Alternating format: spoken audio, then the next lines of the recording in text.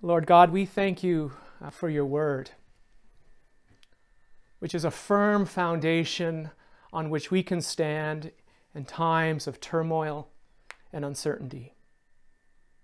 So, Lord God, help each one of us to stand firmly on your word this morning. I pray, God, that your word would accomplish in our hearts, our minds, and lives that which you have set it forth to accomplish.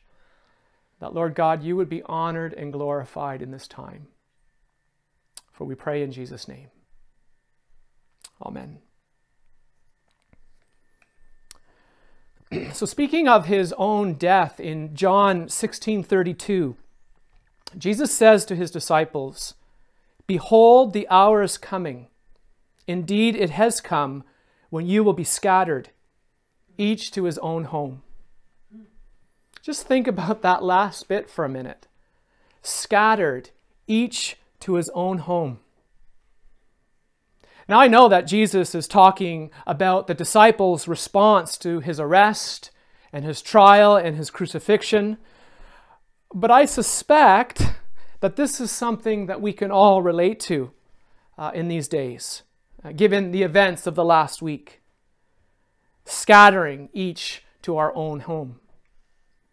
And in response to this, this global pandemic, which has claimed the lives of so many people around the world already, uh, and in the hopes of mitigating the spread in our own communities, we all, I hope, have been practicing social distancing and, and in some cases, complete isolation. As Jesus said, the time has come. And we have each scattered to our own home. And I suspect, like, like those first disciples who, who scattered after Jesus' arrest, we too are, are struggling with fear uh, in the face of this uncertainty. But as you all know, we need to resist this fear as much as possible. We need to consistently fight against feelings of fear and hopelessness. And, and Jesus gives us the reason why in the next verse.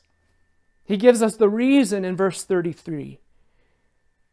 He says, I have said these things to you that in me you may have peace. In the world you will have tribulation, but take heart. I have overcome the world. The trials and challenges of life, large, small, even global, are inevitable. However, in the midst of these things, in the, in the midst of COVID 19, Jesus wants us to have peace. And the reason that we can have peace is because Jesus has overcome the world in his death, in his resurrection, in his ascension, in his promise to come again, Jesus has overcome our two greatest enemies sin and death. And friends, the rest, the rest is details. Now, these words from John 16, 32 and 34 are, or um, 33 are a great comfort to me. And, and I hope to you as well as, as we go through this strange and difficult time because they remind us that Jesus is bigger than anything that this world can throw at us. Right? They remind us that Jesus is bigger than the coronavirus. He's bigger than loneliness and isolation. He's bigger than financial hardship and food shortages. And when we are in Him, when we are in Christ, we can know His peace. No matter what's happening in us or around us, no matter what's happening outside our, our windows. Instead of responding to our current situation, to, to the reality of our scattering in fear, we need to respond in faith. I think this means watching what we put into ourselves. And what I mean by that is the more we watch the news, well, at least not for me, I don't know about you, but the more I watch the news, the more fearful I can become. And the more fearful I become, the less faith filled I will be. Now, I'm not saying that we shouldn't be informed about what's happening in the world around us. I think it's important in these days. But what I am saying is that we need to limit our exposure to the negative, to things which breed fear and hopelessness. And we need to seek to fill our hearts and our minds and our homes, our relationships with things that build us up, things that build up our faith and, instead of tearing it down. We need to follow, I think, Paul's advice in Philippians 4, verse 8. Finally, beloved, Paul writes, whatever is true, whatever is honorable, whatever is just, whatever is pure, whatever is pleasing, whatever is commendable, if there is any excellence, there is anything worthy of praise, think about these things. Think about these things. The more we think about these kinds of things that Paul lists here, the more we focus on faith, the less fearful we will be. And I know that I don't need to tell you, friends, that we, we're people of faith. We're people of trust and we're people of hope. And our lives rest securely in the hands of our merciful and loving God.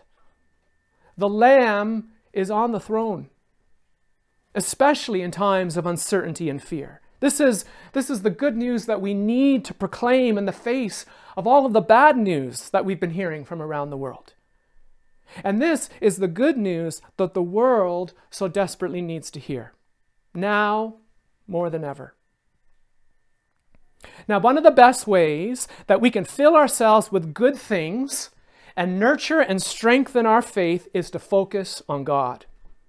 Focus on His character, on his nature, on his promises, promises that can be found in his very names, right, and who he is.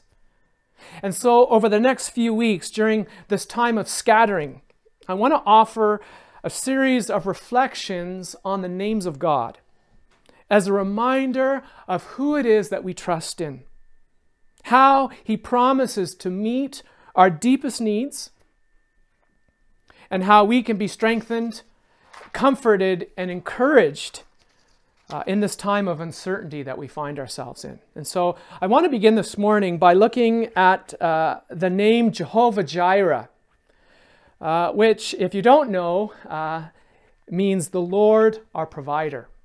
The Lord our provider, Jehovah Jireh. Um, now, as I've already said, the events over the past few days have created an increase, I think, uh, globally uh, in worry and in anxiety and in stress. And, and you can see it. You can see it in the eyes of those scanning the empty shelves in the grocery store. And, and you can hear it in the voices of those who, who because of business closures and, and social distancing, uh, are no longer able to work and, and are worried uh, about how they're going to pay their rent. Jesus addresses this worry and this anxiety and this fear head on in our reading this morning from Luke.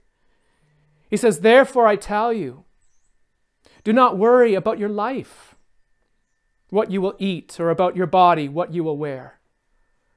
For life is more than food, and the body more than clothing. And, and haven't we learned that over the last few days? He continues, Can any of you, by worrying, add a single hour to your span of life?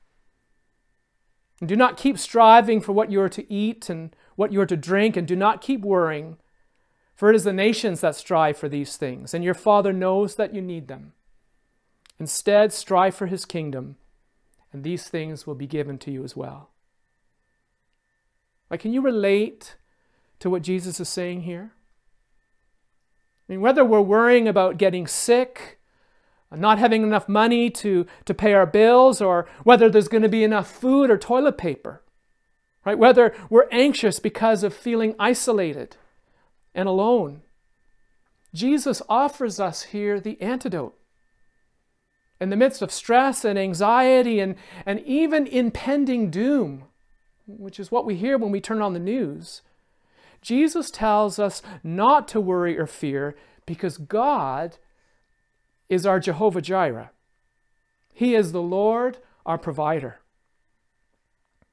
Now, this name first appears in Genesis chapter 22 when, when Abraham, out of obedience to God, is about to sacrifice his son Isaac, and God suddenly provides a ram instead. And it's a great story about faith and, and obedience and God's provision. And I, I encourage you to read the story in, uh, in Genesis uh, chapter 22 later today.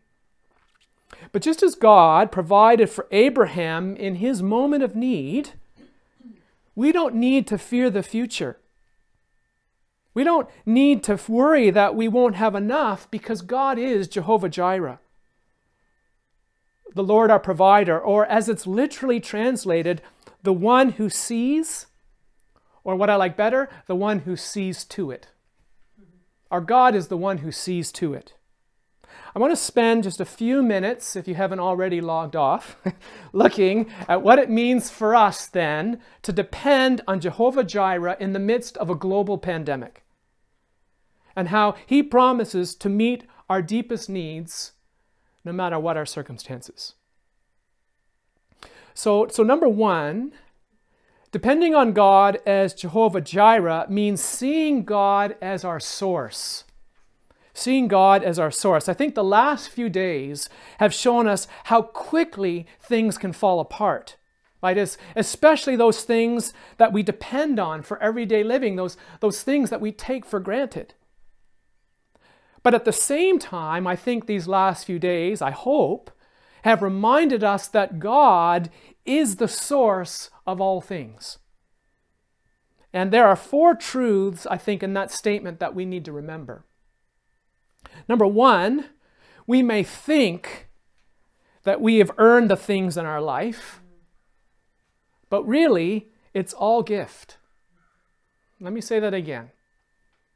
We may think that we have earned all the things that we have in our life, but really it is all gift. Uh, the book of James, chapter 1, 17 reads, Every good and perfect gift is from God above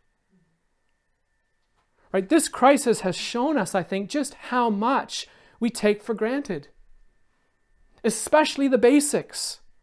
Think about it. We don't earn the air that we breathe. We don't earn the water we drink, the sunlight, this earth. We don't earn our lives, our gifts, our talents, our abilities. Everything that we are and everything that we have comes from God. It, it, it's a gift of His grace. The second thing we need to remember is there is nothing that we need that God cannot provide. Philippians 4:19 says, "God will supply all that you ever need from his glorious resources in Christ Jesus." I love that verse. Uh, the, the shelves in grocery stores may be empty, they may be running out of your favorite products, uh, but God's storehouse, God's storehouse is never empty. Right? The glorious resources in Christ never end. God's resources are unlimited. His cup is always running over. The problem is, the problem is that things are not equalized. Things aren't shared. Some people have a lot, and others have none. Right? It's not a matter of scarcity, it's a matter of greed. We've seen, I think, this ugly truth as well over the past few days as, as some people have been hoarding uh, toilet paper and, and all kinds of crazy things. However, God can and will provide, and He often does, interestingly enough, through us through our acts of kindness, through our acts of generosity. Right? There's nothing that we need that God can't provide. Number three, God wants to provide. He wants to provide. Jesus says in Matthew 7 11, if your child asks you for bread, would you give him a stone? How much more likely is that your heavenly Father will give good things to those who ask him? Right? When, my, when my children ask for food, and they do it all the time, I don't give them a piece of rubber to chew on. Right? If I want to meet the needs of my children, and trust me, I'm imperfect. Those of you who know me, you know that. Certainly God, certainly God who is perfect, wants to meet our needs. Right? We need to trust that. And finally, number four, uh, God is waiting on us. God is waiting on us. If, if we have needs in our lives that aren't being met, it is not God's fault. Right? James 4, verse 2 puts it very clearly. You do not have because you do not ask. And so this tells me that, that the problem isn't that God doesn't want to meet our needs. The problem is that sometimes we don't ask. We, we surrender to fear or we surrender to the chaos.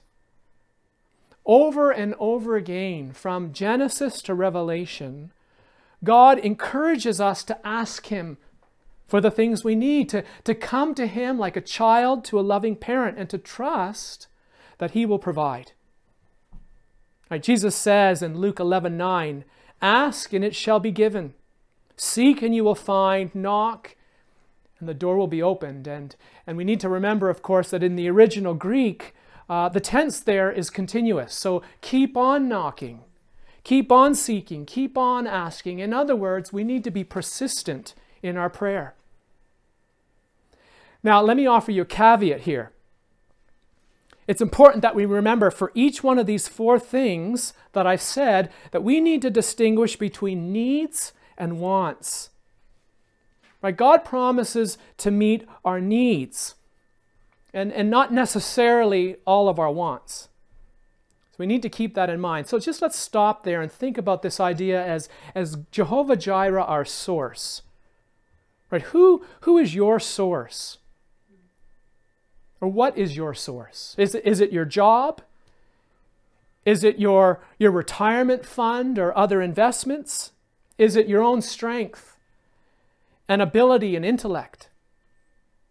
I mean, these things are all well and good, and, and they may provide some sense of security, but, but ultimately, as we've seen, we can't depend on them, especially when things fall apart. Only God can meet our needs. Only Jehovah Jireh can be our source. So that's number two. We need to depend on Him as our source. Uh, sorry, number one. Number two, depending on Jehovah Jireh means trusting God for today. And I, I, think this is so important in the season that we find ourselves in. Trusting God for today. I mean, notice that we don't pray, give us this week, or give us this month, or give us this year our daily bread. Right? Jesus was very clear give us this day our daily bread. And I think what God says to us is He says, I'm going to make this simple. I want you to take life in bite sized pieces, 24 hour increments. I want you to trust me one day at a time, or maybe one moment at a time, even. And then let me deal with the rest. So, how do we do this? I mean, how do we practically trust God one day at a time? Well, I think Paul uh, gives us a clue in Philippians 4. He says, Do not worry about anything. Instead, pray about everything. Tell God what you need thanking Him for all He has done.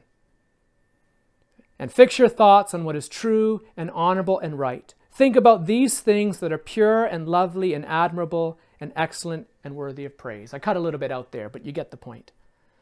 So I think there are four steps in this passage that we can follow to uh, trust God for today. And step number one worry about nothing. Now, even as I say that, I can acknowledge that this is one of the hardest commands in all of the Bible, at least for me to obey, right? I'm fine with do not murder, do not steal, do not commit adultery. I mean, I got those nailed down. but do not worry, right? We can break this one several times a day. I mean, get, we're not even in a global pandemic. But if you think about it, Worrying says, really, when it comes right down to it, worrying says that we don't trust God to provide. We don't have faith in His goodness. We don't have faith in His love. We don't believe that He'll keep His promises. Now, you know, I've been accused of being black and white, and I, and I, and I, I think I'm getting more so as I get older, but, but really, we can't worry and depend on God at the same time. It really is an, an either or thing in any given situation. So Jesus says in our reading, So do not worry about tomorrow, for tomorrow will bring worries of its own. Today's trouble is enough for today. And isn't that the truth? Today's trouble is enough for today. But did you know that every time God gives us a negative, don't do this, he always follows with a positive. Do this instead. And so this leads to number two, right? Number one is we don't worry. Number two, pray about everything. Pray about everything. Friends, it is so clear to me now. We've got two choices. We can either panic or we can pray. Panic or pray. And, and as you all know only too well, worry has never solved a single problem, right? Worrying is simply stewing without doing. Prayer, however, prayer changes things. Prayer invites God into a situation and gives him permission to act, right? Prayer unleashes the power of God. And notice Paul says here, pray about everything. In other words, nothing is too insignificant. Nothing is too small for us to bring to the Lord. Elsewhere in Romans 8:32, Paul writes, "Since God did not spare even his own son for us, but he gave him up for all of us, won't he also surely give us everything else?" I mean, that's a powerful, powerful verse if you think about it. I mean, if God cared enough to die for us, then He's going to care enough to take care of all of our other needs as well, even the little things. Right? He hasn't brought us this far just to abandon us. We need to pray about everything. Step number three, Paul says, thank God. Thank God. Now, this is something that we can often forget to do, let alone in a time of crisis. But no matter what's happening in our lives, we can give thanks to God simply for who He is. We can give thanks to God because He is Jehovah Jireh. He is our source. And as we take one day at a time, we can trust that He will see us through. Being thankful in all things keeps us from worrying.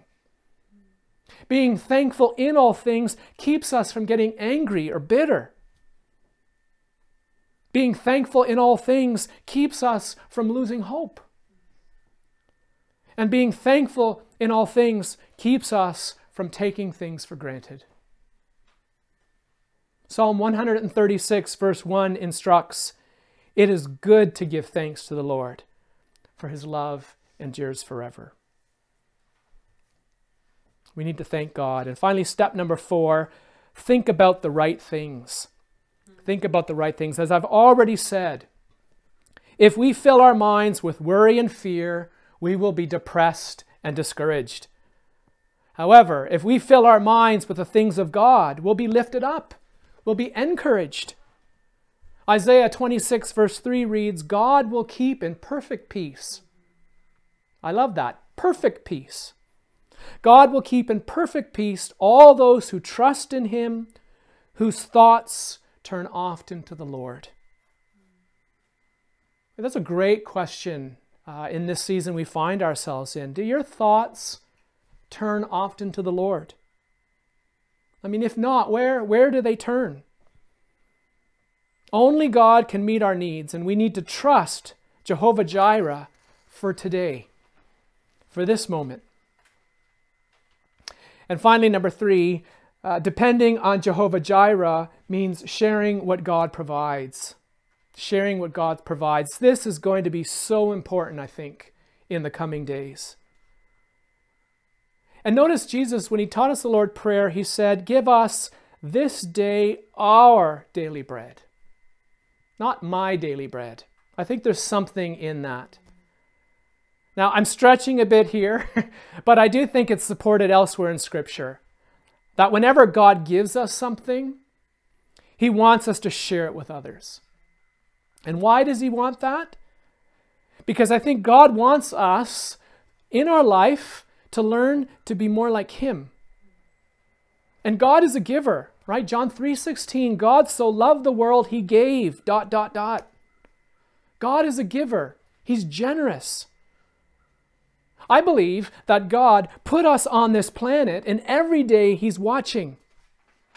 He's watching to see what we will do with the things that He has given us, right? No matter how much or how little we have. So, will we keep our hands clutched and, and hoard for ourselves out of greed or, or fear that there won't be enough? Or will we have faith in God and open our hands and share what God has given us. Here are three quick principles for giving. Number one, what God gives to me, He wants to give through me. What God gives to me, He wants to give through me. Second Chronicles 16:9 reads, "The Lord's eye scans the whole world to find those whose hearts are committed to Him. The Lord is looking for people in the midst of this crisis whose hearts are turned towards Him. People that He can use to, to bless the world, to, to bring healing and hope to the world. And so God looks at us and He asks, Will you take only for yourself? Or will you be a channel for me to other people? Think about that. Will you take only for yourself, or will you be a channel for God to other people? Principle number two when I meet, uh, uh, when I meet others' needs, God will take care of mine. Right? That's a kingdom principle. Jesus says in, in Luke 6:38, "Give and it will be given to you." A good measure, pressed down, shaken together, running over, we put into your lap. For the measure you give will be the measure you get back. Right? As I've already said, we can't, uh, we can't receive when our hands are closed. They need to be open. We need to release instead of hoard. And finally, number three, most importantly, what I give, God multiplies. Right? What I give, God multiplies. This also is a kingdom principle. If I give God my time, talents, and treasures, if, if I share with others what I have, if I, if I give a roll of toilet paper to my neighbor or a loaf of bread to the guy across the street, God promises that He will multiply it, that He will use it in some way. Remember, Jesus was able to feed 5,000 people uh, with one boy's offering of five loaves and two fish. And I love what uh, Proverbs 11:24 tells us. It says, "The world of the generous gets larger and larger. The world of the stingy gets smaller and smaller." So let me ask you, as, as we, as we uh, you know, face this, this crisis, how big is your world? And are your hands opened or are they closed? You know, the reality is, it is impossible for us to outgive God. Right? It's impossible to outgive God, but I dare you in the coming days to try. I dare you with your family, your friends, your neighbors, the stranger on the street that you pass at a respectable social distance, uh, that you will that you will reach out and give. Only God can meet our needs. Depending on Jehovah Jireh means sharing, friends, what He's supplied. So I'm going to stop now. Um, but we are in unprecedented times, and things, as you know, are changing quickly. Who knows what next week will bring? However, in our reading this morning, Jesus tells us very clearly not to worry. He tells us uh, that it is God's good pleasure to give us the kingdom. Do not be afraid, little flock. Your Father is pleased to give you the kingdom. My God, our God, as Jehovah Jireh, He's our provider. It's His pleasure to give us the kingdom to provide for our needs. All that we have to do is ask, depend on Him by seeing God as our source, by trusting Him for today, and by sharing with others what He's given us. I think it's important that we remember this as individuals and as a church community, whether you're part of Living Waters or whether you've tuned in from another church community. I mean, this time of uncertainty and fear presents us with an opportunity as the people of God and the body of Christ to rise up and to actually be the church in the world. And by church, I don't mean a building, I mean people. Ambassadors for Jesus to our family, to our friends, to our neighbors, to reach out to a world that, that God loves. The question that we have to ask ourselves, again, as individuals and, and as a church community, is do we really believe this? Do we really believe that God is our Jehovah Jireh? That He will provide for all of our needs in these difficult days? Ask yourself that. Friends, in the days and weeks ahead, as, as you are scattered, each to your own home? Are you prepared to trust God enough to do your part? And then to let Jehovah Jireh, the Lord our provider, do the rest. Let's pray. Lord God, we thank you that indeed you are our great provider. Lord, all good gifts come from you. And Lord, in this season of fear and, and uncertainty and social isolation and sickness, uh, Lord, we lean into you and, and we thank you that you are our source. Lord, we pray that your Holy Spirit would rise up in each one of us and, and overcome fear with faith. Lord, help us to be your children, your sons and daughters, and your ambassadors in the world. Lord, not having clenched hands and hoarding for ourselves Lord, but reaching out and sharing the love of Jesus uh, and the practical needs of life uh, to those around us. Uh, Lord God, we just pray that your will would be done in this season, that you would help us, Lord, to be attentive to what you're doing and what you're saying in these days. And Lord, and that you would use us uh, for your glory and your goodness. For we pray in Jesus' name.